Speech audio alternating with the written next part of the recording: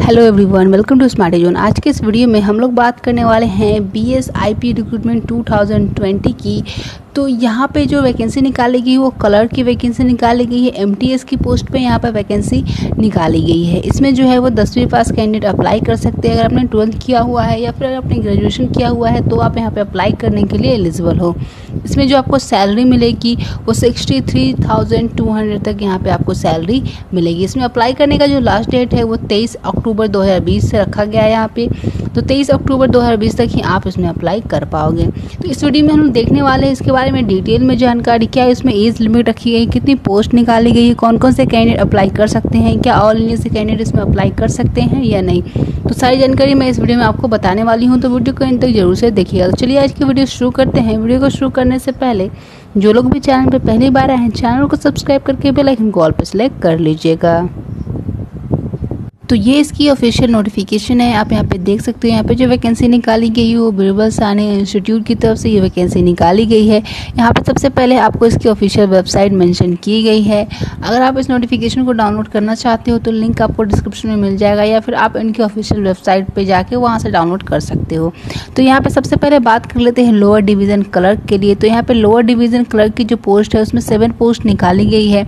इसमें category wise आप यहाँ पर चेक कर सकते हो कौन कौन से कैटेगरी में कितनी कितनी पोस्ट निकाली गई उसके बाद बात करें पे स्केल की तो यहाँ पे लेवल टू के अकॉर्डिंग आपको सैलरी मिलेगी उन्नीस हज़ार नौ सौ से लेकर तिरसठ हज़ार दो सौ प्लस यहाँ पे जो ये सैलरी है, उसमें आपका उन्नीस सौ का ग्रेड पे भी रहेगा। एज लिमिट की बात करें तो अठारह से पच्चीस साल यहाँ पे एज लिमिट रखी गई है। लोअर डिवीज़न क्लर्क के लिए। उसके बाद एजुकेशन क्वालिफिकेशन की बात करें तो इसमें ट्वेल्थ पास कैंडिडेट और इसके इक्विवेलेंट अप्लाई कर सकते हैं। यहाँ पे जो आपके टाइपिंग स्पीड मांगी गई है, वो 35 word per minute in English होना चाहिए और 30 word per minute in Hindi होना चाहिए और कंप्यूटर पे आपका जो है वो ये होना चाहिए। उसके बाद यहाँ पे आपको लिखा गया है। उसके बाद यहाँ पे आपको डिज़ायरेबल में भी दिया गया है। तो यहाँ पे आप देख सकते हो डिज़ायरेबल क्वालिफिकेशन में जो आपसे मांगा गया है, उसमें आपसे जो है वो ग्रेजुएशन मांगा गया है। अगर आपने किसी भी यूनिवर्सिटी से ग्रेजुएशन किया हुआ है, इसमें आपसे जो मांगा गया है knowledge of accounts code like P F M S Tally E अगर आपके पास है तो आपको यहाँ पर ज़्यादा प्रेफर किया जाएगा। Computer working on Microsoft Office like Word Excel E T C यहाँ पर आपको लिखा गया है। यहाँ पर जो आपकी राइटिंग स्किल है इंग्लिश में, वो अच्छी होनी चाहिए। तो इन कैंडिडेट के जो है, वो इनके मुकाबले ज़्यादा प्रेफर किया जाएगा। जिन लोगों ने सिर्फ़ ट्वेल्थ किया हुआ है तो उन कैंडिडेट के मुकाबले इनको जो है वो ज़्यादा प्रेफर किया जाएगा। तो ये डिज़ायरेबल में है। अगर आपके पास ये क्वालिफिकेशन है तो भी आप यहाँ पे अप्लाई कर सकते हो। नहीं भी है तो भी आप यहाँ पे अप्लाई कर सकते हो। उसके बाद यहाँ पे बात करें एमटीएस की पोस्ट के लिए। तो यहाँ पे मल्टीटास्किंग स्टाफ के लिए जो पोस्ट निकाली गई उसमें आठ पोस्ट निकाली गई है। यहाँ पे आप कैटेगरी वाइज वैकेंसी चेक कर सकते हो। पे स्केल की बात करें तो यहाँ पे जो आपको सैलरी मिलेगी, वो लेवल वन के अकॉर्डिंग सैलरी मिलेगी। अठारह हज़ार से लेके यहाँ पर छप्पन हज़ार नौ सौ आपको सैलरी मिलेगी। यहाँ पे जो आपका ग्रेड पे रहेगा, वो अठारह सौ का रहेगा। एज लिमिट की बात करें तो यहाँ पे भी अट्ठारह से पच्चीस साल एज लिमिट रखी गई है। उसके बाद यहाँ पे बात करें इसमें एजुकेशन क्वालिफिकेशन की तो यहाँ पे आपसे टेंथ पास मांगा है और आई मांगा।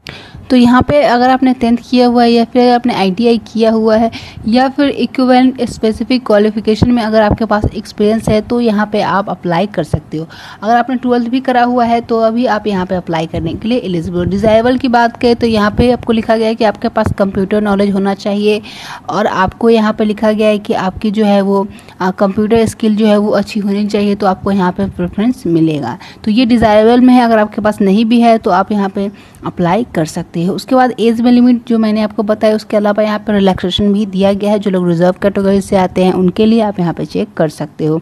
इसमें अप्लाई करने का जो लास्ट डेट है, वो आप देख सकते हो, तेईस अक्टूबर दो हज़ार बीस यहाँ लिखा गया है। इसमें जो फॉर्म आपको अप्लाई करना है, वो ऑफलाइन वैसे करना है। उसके बाद बात करते हैं एप्लीकेशन फ़ी की। तो यहाँ पे आप देख सकते हो S C S T P PH के लिए और फीमेल कैंडिडेट के लिए कोई भी एप्लीकेशन फ़ी यहाँ पर नहीं रखी गई है।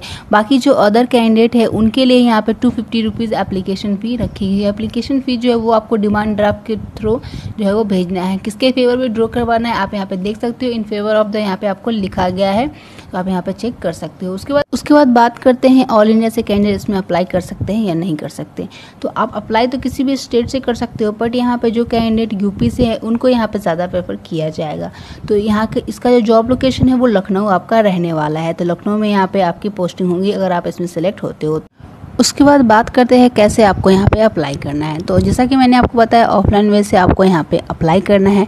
तो यहाँ पे आप देख सकते हो, यहाँ पे अप्लाई करने के लिए एक एप्लीकेशन फॉर्म आपको दी गई है। इसी नोटिफिकेशन के एंड में आपको एक एप्लीकेशन फॉर्म मिलेगी।